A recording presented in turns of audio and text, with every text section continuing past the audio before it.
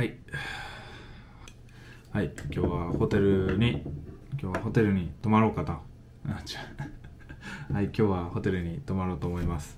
えー、大野市のあの荒島の、えー、道の駅でこれこれとこれとこいつを買ったんでこれ。このなんとかあんころ餅なんとかあんころ餅買ったんでまあこれを食べながらねまあ雑談でもしていこうかなと思います。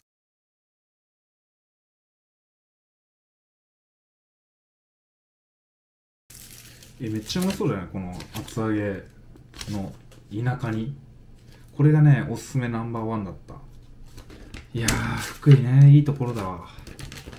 でささっき夜ご飯を食べに行ってあのおばあちゃんがおったんですよ。うん90歳ぐらいのおばあちゃんがおってでそのおばあちゃんと60歳か70歳かぐらいの、まあ、娘さんが、まあ、話しよってで初めてね福井弁を聞いたんですよ。そこその時に。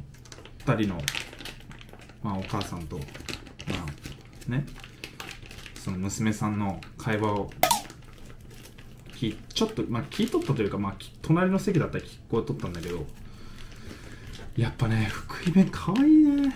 初めてそのね、まあ、福井に来てしっかりとした福井弁っていうか聞けたのがそのそのおばあちゃんの一言だったんだけどほんま可愛かった。なんか年寄りばっかりやでみたいな。可愛いと思って。あのほなんていうかほやほやなほやほやなかな。うん忘れたけど。めっちゃ可愛かった。すげえおすすめだわ。福井弁。福井弁おすすめってなんなん？わからんけど。ちょっとうまきれんな。いやこれ美味しいわ絶対。これ見て。美味しそう。もう皆さん何何県の方言が一番おすすめですか？まあでもみんなどうせ福岡って言うんだろうなと思って。いただきます。えめっちゃでかい。えやばくねこれ。めっちゃ分厚い。めっちゃ分厚い。めっちゃ染み込んでるし。いただきます。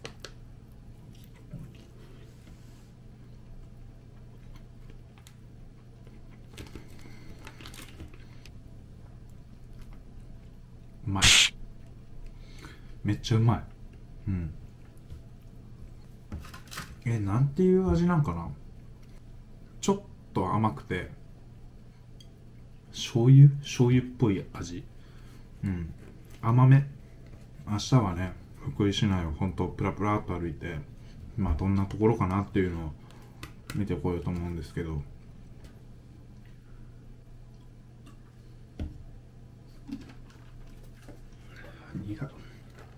全然福井がさどういうものが名産とか全然わからなくて。この旅行自体が本当に行き当たりばったりすぎてほぼノープランで来ております。うわうまそう。絶対うまいやんこれ。めっちゃ美味しそうじゃない？これ。すげえ美味しそう。あ取れ。ん取れ。やばいやばい取れんえめっち柔らかいな。ほんと柔らかい。いただきます。ちょっと柔らかいね。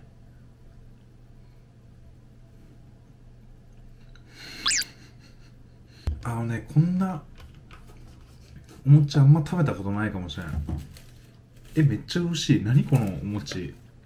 あんはちょっと甘さ控えめみたいな感じ。中のお餅がすごいよこれ。中の餅マジですごいこれ。え食べたことないようなやおさ。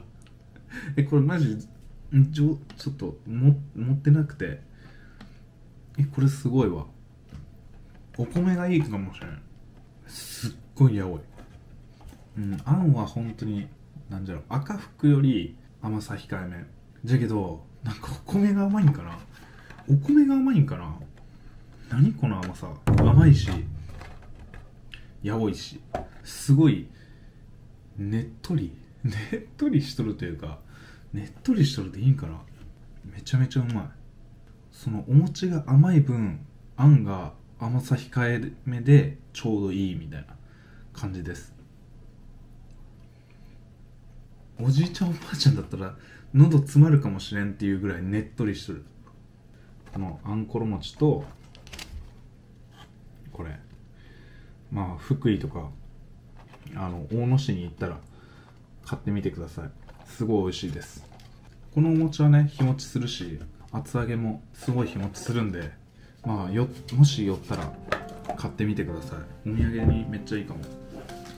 まあ何の動画かわからんなマジ 何の動画かわからなくなったけど福井弁が可愛いよってこととあとあの登録してくれてくれた方本当にありがとうございます。眠たいおやすみなさい。ありがとうございました。こんなクソみたいな動画。ありがとうございます。バイバイ。明日も楽しんでいきます。